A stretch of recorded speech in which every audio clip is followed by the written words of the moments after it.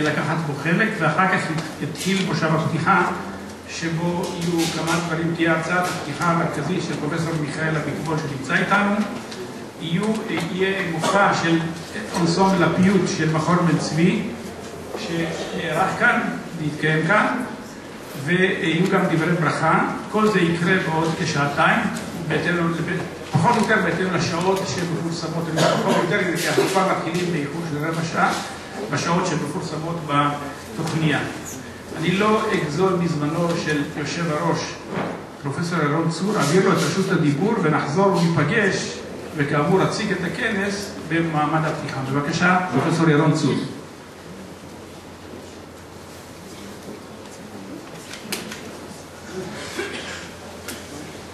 ברוכים הבאים לירושלים, למרכז הזה ולכנס הזה. הכנס הזה נפתח ממש במושב שהוא נדיר בסדר יומם של קורסים מדעיים. ביקורי מחקר.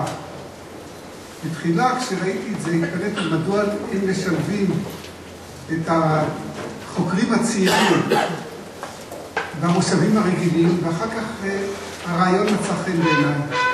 זו דרך מצוינת לעמוד על מצב התחום ומצב המחקר. לקבל מושג מי הם הפנים החדשות שיצצו בתחום ושישפיעו על הדור הבא של החוקרים. ואני מוכרח לומר שהמושב הזה הוא מיוחד ומשמח בשבילי, מכיוון שזאת ההזדמנות לומר שבשנים האחרונות אנחנו עדים לפריחה בלתי רגילה בתחום שלנו.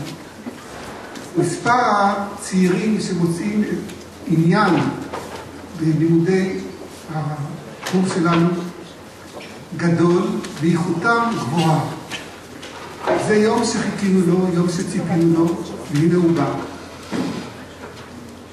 היום ידברו במושב ארבעה דוברים. שניים מהם תלמידיי או תלמידיי לשעבר, שאני מכיר אותם היטב. אחד הוא תלמיד האוניברסיטת בר אילן, שהיא מקור תוסס בלימודי יהודי ארצות האסלאם. ואחד מפריז, ונדמה לי שהוא אה, איטלקי במוצאו, מונטלבנו. Vous comprenez l'hébreu Non, malheureusement. Et vous êtes italienne à l'origine כן, כן, איטלקי, והוא מדבר על נושא שמזמן חיכיתי שמישהו יחדש בו חידושים.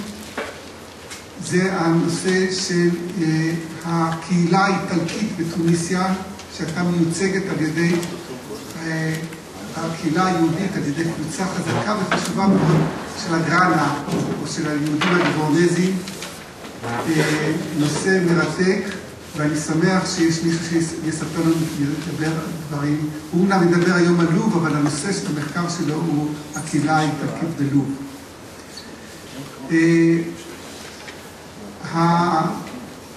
הדוברים, אם כן, יציגו בעצמם את הנושא שלהם, אני רק אקרא את הכותרת. הדובר הראשון הוא דוד גץ, מאוניברסיטת תל אביב. שדבר על חקר התרבות העברית במרוקו כמקרה מבחן לשתי שיטות מחקר.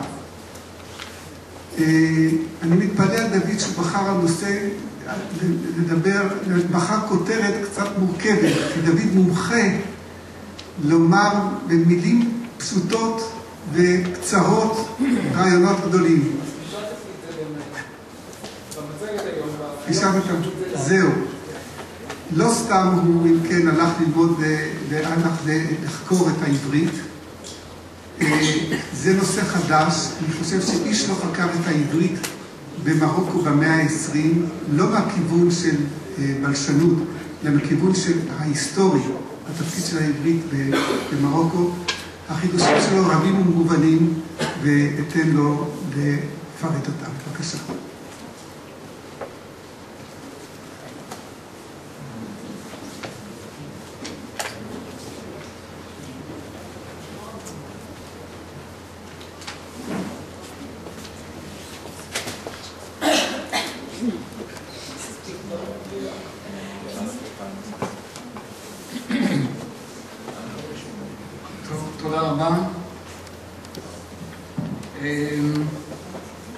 תודה רבה לפרופסור ירון צור, שהוא באמת גם המנחה שלי, ואני רוצה להודות גם למארגני הכנס וגם להזדמנות שניתנה לי באמת לדבר גם בכנס הזה.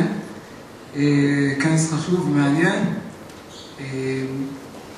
אז אני אתחיל את, ה, ההרצאה שלי, ואני ברצוני לפתוח בעצם בהצגת שתי תעלומות שהתרחשו בשנות ה-40 של המאה הקודמת במרוקו. בראשית 1944 העבירה הברית העברית העולמית קול קורא לשמעון זבלי, משכיל עברי מקזבלנקה, על מנת שיפיצו בקרב שוחרי העברית במרוקו. הקול קורא הציע למעוניינים לשלוח למשרדי הארגון בתל אביב דוח על הפעילות העברית שהם מקיימים, ובתמורה ישלחו להם ספרים. לאחר מספר שבועות הוצפה תיבת הדואר של הארגון במאות מעטפות של משכילים, מורים, תלמידים מכל רחבי מרוקו. הברית העברית העולמית לא עמדה בעומס, בעומס של המכתבים של יהודי מרוקו, ולכן היא ענתה בקצרה למכתבים ואמרה להם, אני לא אוכל להיות בקשר עם כל אחד ואחד מכם, ואני בטח שלא אוכל לשלוח ספרים לכל אדם ששולח לי מכתב. זו תעלומה אחת. תעלומה שנייה, היא בעצם הראה לאחר ביקורו של אליהו הכרמלי, שליח מפאי ממוצא מוגרבי במרוקו במרץ-אפריל 1947. במסעו נפגש הכרמלי בקזבלנקה עם קבוצת מורים לעברית, ומסר להם את פרטיו של אביעזר ילין, מזכ"ל הסתדרות המורים בארץ ישראל, כך שיוכלו להיעזר בו. תוך מספר שבועות קיבל ילין עשרות פניות של מורים מרחבי מרוקו שכללו בקשות לתוכניות לימוד, דרכים לקבלת תעודת הסמכה ודרישות לספרים. ילין שלא עמד בעומס פנה לג'וינט בבקשת סיוע למורים למרוקו. פה בתמונה, דרך אגב, אתם יכולים לראות, יש פה בעצם גם את אליהו הכרמלי, אבל מצד, משני הצדדים יש שם מורים, לפחות לי הם מוכרים, זה יעקב אדראי ויחיאל בוסקילה, ולצידו אשתו רחל. שתי התעלומות עימן פתחתי, אולי אתם לא רואים בהן תעלומות, אבל שתי התעלומות עימן פתחתי משקפות את מימדיה של הרשת העברית במרוקו בשנות ה-40 של המאה הקודמת. רשת זו החלה לקרום עור וגידים מאמצע שנות ה-20 של המאה ה-20, התרחבה בכל שנה והגיעה לשיאה בשנות ה-50. יחד עם זאת, נשאלת השאלה, ועליה ננסה לתת מענה בהרצאה, זה כיצד פנייה למשכיל אחד או לקבוצה מצומצמת של מורים יצרה תגובה המונית. אילו גורמים הביאו למעבר של הקול קורא לכתובתו של אביעזר ילין בין מספר גדול של אנשים ואגודות בערים כה מרוחקות במרוקו. בהרצאה אציע לענות על השאלה באמצעות כלים ממחקר הרשתות. שדה מחקר זה החל להתפתח במחצית השנייה של המאה ה-20 בדיסציפלינות שונות, וההתקדמות רבה החלה בו בשלושים שנים האחרונות, בעיקר בעקבות מחקרים שבוצעו על רשתות מחשבים ואינטרנט, שהתגלו כבעלות דמיון רב לרשתות חברתיות שהתקיימו לאורך ההיסטוריה האנושית. החלק הראשון מפתרון התעלומה שהצגתי מצוי במחקר משנות ה-60 שכותרתו שש דרגות של הפרדה. המחקר בחן כמה מכרים נדרשים כדי למצוא קשר בין שני אנשים שנבחרו באופן אקראי בארצות הברית, לא במרוקו. התוצאה, התוצאות הראו כי הקישוריות בין אנשים גבוהה ביותר, וניתן להגיע לכל אדם אקראי בכל רחבי ארצות הברית תוך מקסימום שישה אנשים. ניסוי זה אולי מעניק הסבר ראשוני למעבר המהיר של הידיעות שהצגתי. אולם נשאלת השאלה כיצד נוצרה הרשת העברית המקושרת במרוקו, שאפשרה את המעבר הידיעות תוך שישה צעדים. אילו שחקנים הרכיבו אותה, ובמילים אחרות ברצוני לאתר את הצינורות בתוכם זרם המידע. הצינורות שהונחו או הורחבו בתקופה בה נידן. אחלק את התשתית הרשת העברית במרוקו למספר קבוצות. אני רואה שאתם כבר רואים אותם, או שעכשיו אנחנו רואים אותם? בעצם אתם רואים רשתות בלתי פורמליות, רשתות בתי ספר, עיתונות שאינה עברית, בתי כנסת ומועדונים. אני אפרט קצת על כל אחת מהרשתות האלה. רשתות בלתי פורמליות הן הרשתות הנפוצות ביותר והמגוונות ביותר שבבסיסן עומדת היכרות אישית בין אנשים על בסיס משפחתי, מסחרי או תרבותי. רשתות משפחתיות במרוקו התפרסו לרוב על פני מספר ערים ואפשרו העברת ידע בין אזורים גיאוגרפיים שונים. הרשתות המשפחתיות עברו תהליך של התרחבות במאה ה-19 עם התגברות תהליך ההגירה מפנים הארץ, בעיקר לערי החוף, אך גם לערים אחרות כמו מרקש ופס. נוסף לרשתות המשפחתיות התקיימו במרוקו רשתות של סוחרים שנעו בין הקהילות השונות ושימשו כסוכני תרבות.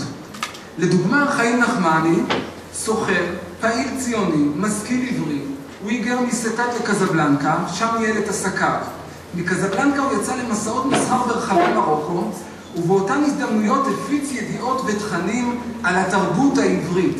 בין יתר מפעליו אציין את הקמת המועדון העברי חובבי השפה, עריכת העיתון חפרת על אחואנה בארץ ובגולה, ותרגום הספר לז'וויף ומרוק ליצחק אבו לערבית יהודית.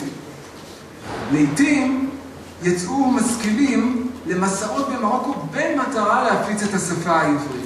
מסעות אלה יצרו אט אט רשת משכילים עבריים שניהלו קשרי תרבות. כך לדוגמה מתאר אשר פרוספר חסין את מסעותיו ברחבי מרוקו. אני קורא מתוך ציטוט של דבריו: נוסע אני תמיד מעיר לעיר, הייתי כמעט בכל ערי מרוקו, ובכל מקום בו אם מנסה אני לשתול שתילים בקרב כל אחינו, באומרי אליהם, רוצים אתם לקבל את התורה ולקיימה? ללומדה ולשמורה? הם עונים כן, נעשה ונשמע. דרך אגב, אשר פרוספר חסין, מוכר לכם אולי גם כחבר הכנסת, מוכר גם לאחרים כמי שכתב את מגילת היטלר, יש לו שפה פשוט נהדרת, השפה העברית שלו. דוגמה נוספת, אני רוצה להראות לכם על רשת משכילים עבריים במרוקו, שדווקא מספקת לנו אישה. קוראים לה בילה בנדרלי, ובילה בנדרלי היא הייתה פעילה עברית מרכזית במרוקו, שהגיעה לישראל, שהגיעה למרוקו מארץ ישראל. ובואו נראה מה היא כתבה. בילה בנדרלי כתבה, בכל מקום שחבר המועדון שלנו מבקר בעיר אחרת, משתדלנו לקבץ את נדחי העבריים שם ולהזמינם שיסדרו גם אצלם מועדון, וכך מתפשטת תרבותנו ושפתנו בין כל הקהילות וקמות הן לתחייה. אני עובר כרגע בעצם לנקודה נוספת, שזה בעצם רשת, רשתות בתי הספר.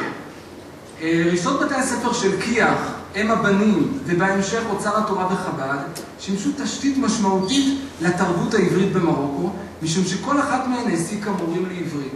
למרות השוני האידיאולוגי בין הרשתות, אוכלוסיית המורים לעברית הורכבה מקבוצה דומה של משכילים עבריים שהתחנכו לרוב במוסדות חינוך מסורתיים עם מינון משתנה של חינוך צרפתי. הפוטנציאל להפחתת השפה העברית הטמון ברשתות בתי הספר ולמרבה ההפתעה דווקא ברשת החינוך של כי"ח בא לידי ביטוי במאמר של פייר סם שמואל אלמליח, בנו של אברהם אלמליח, ששהה במרוקו בשנות ה-40. אלמליח שזיהה את הפריסה הרחבה של כי"ח במרוקו, טען שכמעט כל ילדי היהודים במרוקו לומדים בבתי הספר של האליאנס. לפיכך יכולים בתי ספר אלו לשמש מרכז אידיאלי להפצת הלשון והתרבות העברית. ואכן באותם ימים החלה כי"ח לשנות את מדיניותה בנוגע לחינוך העברי ופתחה בתהליך הכשרה והסמכה למורים לעברית שלימדו ברשת. המורים נפגשו בקזבלנקה אחת למספר חודשים ונוצרה קהילה של מורים לעברית ששמרה על קשר מקצועי.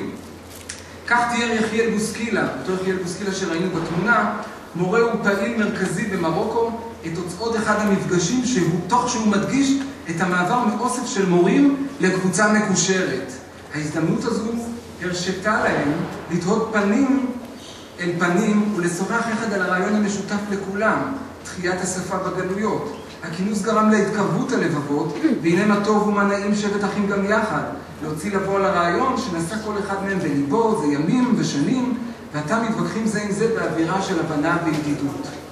נקודה חשובה שיש להוסיף לגבי רשתות בתי הספר של כי"ח, סליחה, לגבי רשתות בתי הספר, אם זה כי"ח ואם זה אוצר התורה וחב"ד, כי אלו חיברו את הרשת העברית במרוקו לרשתות עבריות מחוצה לה, כמו בצרפת, אנגליה, ארצות הברית וישראל, ואפשרו לזרימה דו-כיוונית של תרבות עברית גם מעבר לים. במרוקו לא פורסמו עיתונים בעברית. אולם, אה, אולם, עיתונים שפורסמו בצרפתית או בערבית יהודית שימשו אמצעי לעידוד והפצת השפה והתרבות העברית. בעיתונים לבוניר אילוסטרה, נוער, לבואה דה קומיניטה, פורסמו מאמרים וידיעות על התרבות העברית מארץ ישראל ומהתפוצות והעניקו מקום מרכזי לתרבות העברית במרוקו. העיתונים לא שימשו רק אמצעי להפצת אה, ידע על פעילויות תרבותיות, אה, אנחנו רואים את זה, אלא גם שימשו במה לדיונים על מקומה של השפה העברית במרוקו, וכלי ליצירת נרטיב היסטורי שבמרכזו גיבורים היסטוריים מקומיים.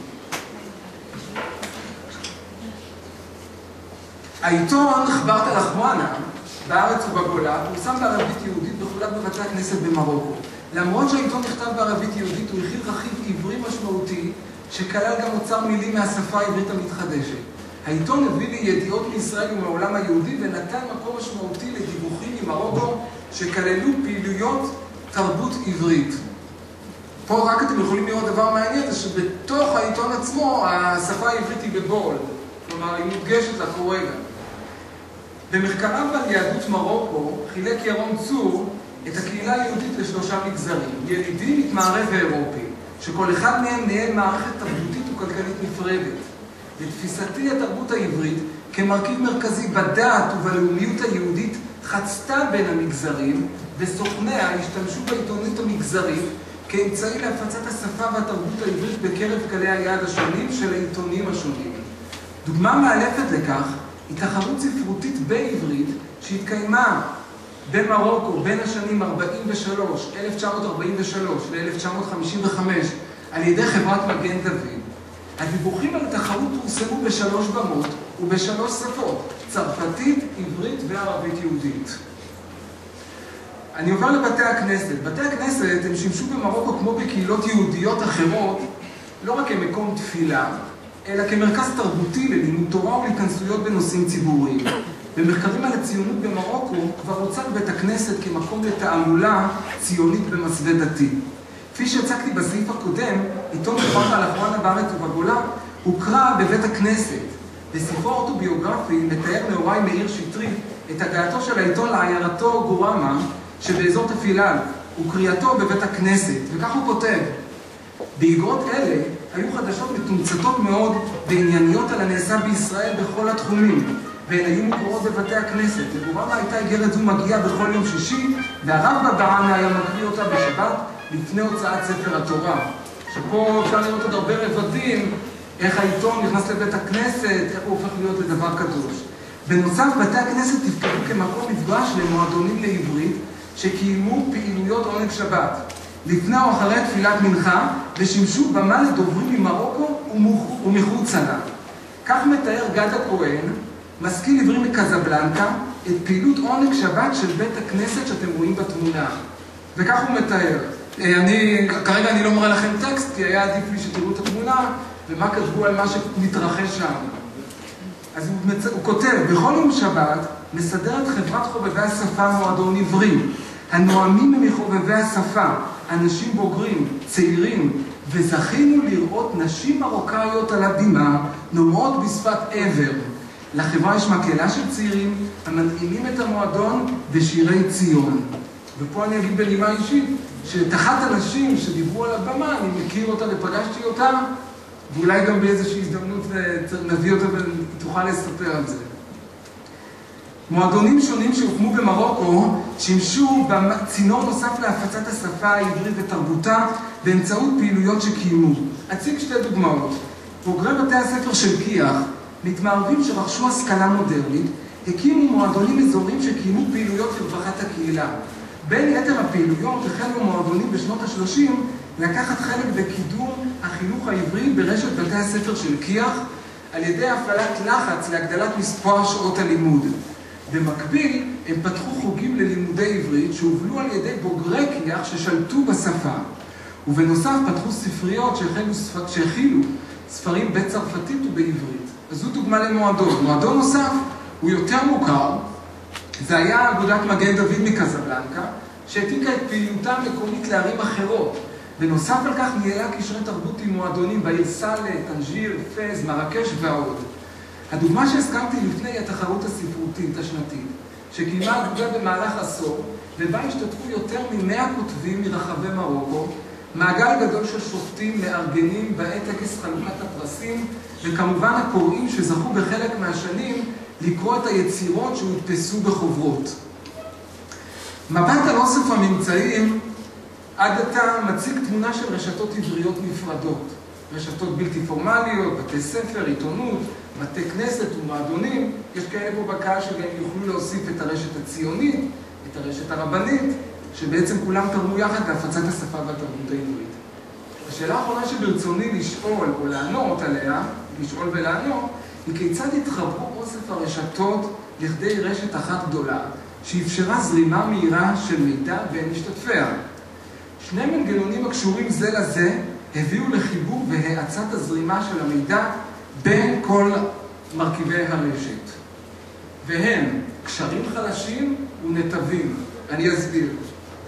בואו נסתכל על הדבר הבא. עוצמתם של קשרים חלשים זו תיאוריה שטוענת כי לכל אדם אוסף של חברים קרובים, שמרביתם נמצאים בקשר זה עם זה. בנוסף לאלה, לכל אדם אוסף של מכרים אה, שמרביתם אינם מכירים זה את זה, אבל לכל אחד מהם יש חברים קרובים. אני עוד רגע, עוד רגע אני אדגים את זה ותראי למה אני מתכוון.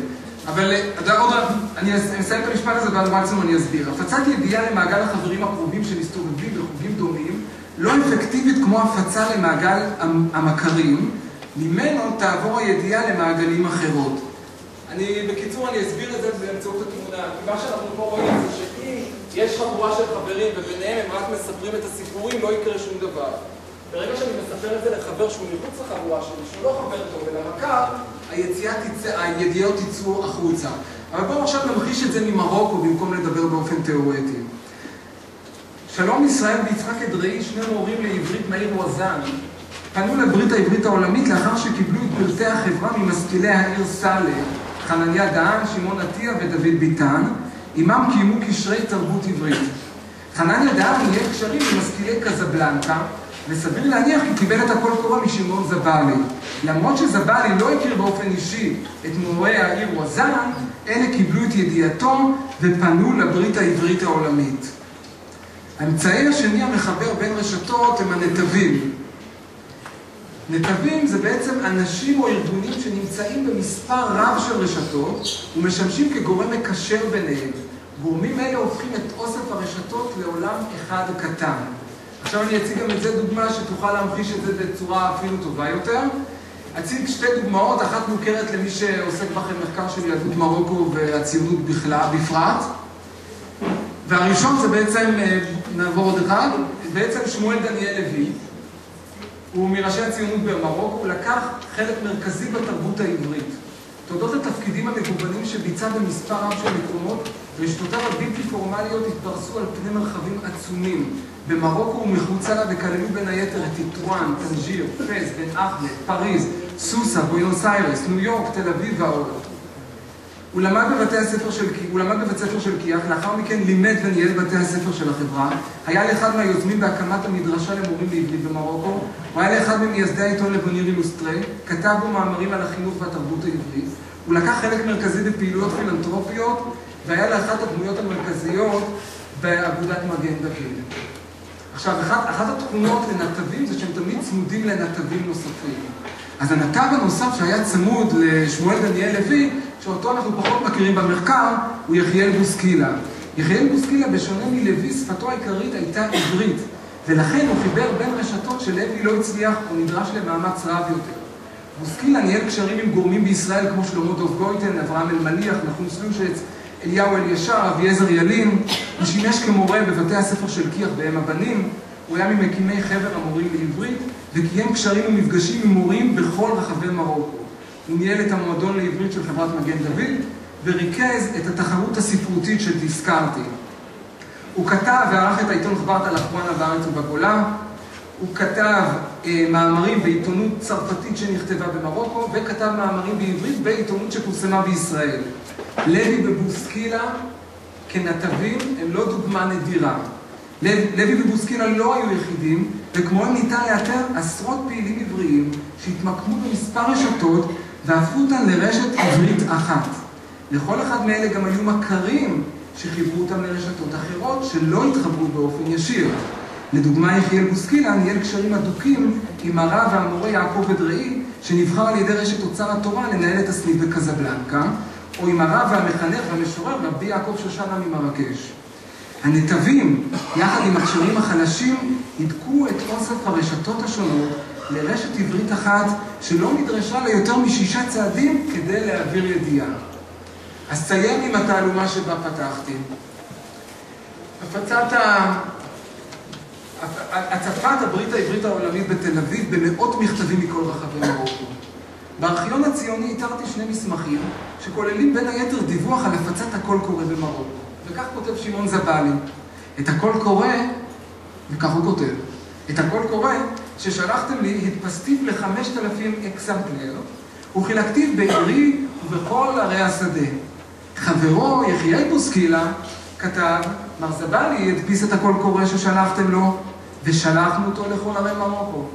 כעת אנחנו יודעים כיצד הופצו כל חמשת אלפים העותקים בכל רחבי מרוקו בזמן קצר וגרמו להפצה של תיבת הדואר של הברית העברית העולמית בירושלים.